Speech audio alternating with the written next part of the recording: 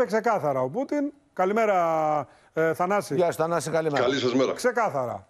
Βάζετε πλαφόν, κόβουμε. Τέλος. Έτσι Ναι. δεν είναι; Ε, νομίζω πως τα είπε κιόλας με μια ιδιαίτερη αυτοπεποίθηση και αυτή την ε, ε, παροιμιακή ψυχραιμία του. Ε, αν ήθελε να περάσει αυτό το μήνυμα στην ε, Ευρωπαϊκή Ένωση ότι ε, η Μόσχα δεν ανησυχεί ακόμη και αν χρειαστεί να διακόψει πλήρως την παροχή ε, φυσικού αερίου στην ευρωπαϊκή αγορά, ε, το πέρασε αυτό το μήνυμα. Ε, το είπε όσο πιο ξεκάθαρα μπορούσε να υποθεί.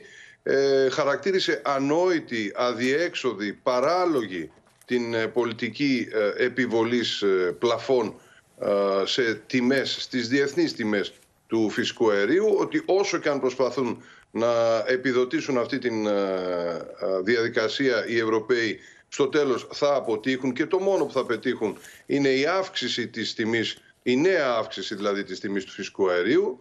Ε, επανέλαβε την πάγια ρωσική γραμμή ότι η μόνη διέξοδος ε, στα αδιέξοδα που έχουν δημιουργηθεί είναι η ε, υπογραφή μακροχρόνιων συμβολέων, η τήρησή τους ε, και όχι η ε, επιλογή που έχει κάνει η ευρωπαϊκή ηγεσία ε, οι τιμές του χρηματιστηρίου. Θανάση, Ε, Είδαμε που, που διάβασα οδηγηθήκαμε. κάπου και δεν ξέρω αν είναι έτσι βέβαια. Είπε, άφησε κάποιο υπενιγμό για το θέμα των σιτηρών. Ότι αν συνεχιστεί έτσι η κατάσταση μπορεί να το δούμε διαφορετικά. Βέβαια και ήταν κατηγορηματική η τοποθέτησή του, πρόσθεσε δηλαδή και το θέμα των σιτηρών σε Ότι αυτή δηλαδή την τι; ε, επίθεση που έκανε στην ευρωπαϊκή ηγεσία λέγοντας ότι αποδείχθηκε μια υποκρισία αυτή η συμφωνία γιατί υποτίθεται όλοι ε, οι διεθνείς οργανισμοί, τα διεθνή μέσα ενημέρωσης, οι κυβερνήσεις της Ευρώπης φώναζαν ότι πρέπει το σιτάρι της Ουκρανίας να απελευθερωθεί για να πάει στις φτωχές πρώτα απ' όλα χώρες, στις αναπτυσσόμενες και τελικά κατά 90 και πλέον της εκατό α, τα πλοία που έχουν φύγει από τα Ουκρανικά λιμάνια κατευθύνθηκαν σε ευρωπαϊκές χώρες, σε χώρες της Ευρωπαϊκής Ένωσης. Και είπε, θα Αυτό το ο συζητήσω Πούτιν- και με τον φίλο μου τον Ερντογάν, λέει. Θα με τον, ο ε, Πούτιν είπε ότι αυτό είναι η ύψιστη υποκρισία, ότι θα το, ο- εφόσον ο, ο εγγυητής είναι η Τουρκία, θα το συζητήσει με τον ε, Ερντογάν και Εντάξει, δεν τώρα είναι απέκλεισε το ακριβώς έτσι ενδεχόμενο όμως, να Θανάση διακοπεί μου. αυτή η συμφωνία. Διότι όταν, όταν πέσουν οι, οι, οι ποσότητες οι επιπλέον στην, α- στην ε, παγκόσμια αγορά, μειώνεται η τιμή της, του, του, του σιταριού και άρα μπορεί και ο φτω- η φτωχή χώρα να αγοράσει. Το πρόβλημα με τα σιτάρια δεν ήταν ότι ήτανε, δεν υπήρχαν σιτάρια. Ήταν τα πανάκριβα. πολύ ψηλά η τιμή και δεν είχαν λεφτά να αγοράσουν. Τέλος πάντων, εν πάση περιπτώσει, ναι.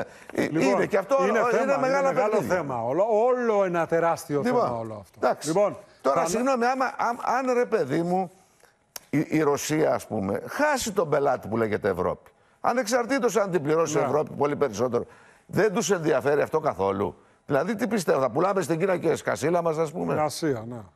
Ε, έχω, έχω την εικόνα ότι ε, η, γίνεται ένας τεράστιος αναπρογραμματισμός ε, του προγράμματος της ε, Ναι.